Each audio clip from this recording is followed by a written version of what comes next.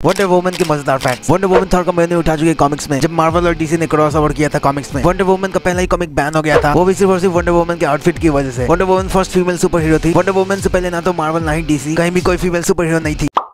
सजैम के मज़ेदार फैक्ट सजैम के पास जो पावर्स है, उसकी हेल्प से वो अर्थ के किसी लैंग्वेज को समझ बोल सकता है। सजैम एक यंगेस्ट मेंबर है जस्टिस लीग का। क्योंकि बिली बैटसन एक बच्चा है जो कि सजैम के बॉडी के अंदर है। और इसी वजह से यंगेस्ट मेंबर है जस्टिस लीग का कॉमिक्स में। सजैम वो पहली मूवी नहीं है जिसके अंदर इसको दिखाया गया लाइव एक्शन में। बल्कि नाइनटीन के अंदर सजैम का एक टीवी शो आया था, जिसके अंदर पहली बार सजैम का लाइव एक्शन अपियरेंस हुआ।